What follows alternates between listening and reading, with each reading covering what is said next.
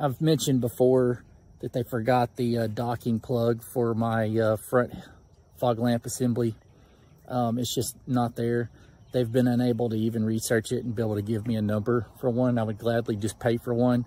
Um, but uh, it's just dangling about down here. And over here on this side,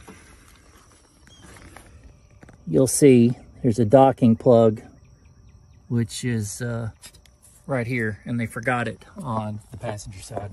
I've noticed everybody seems to have the same issue. So if you've got the hardtop, you either will have this problem. All right. You see this? Okay, that's uh, the black urethane for the weather stripping. And right about here,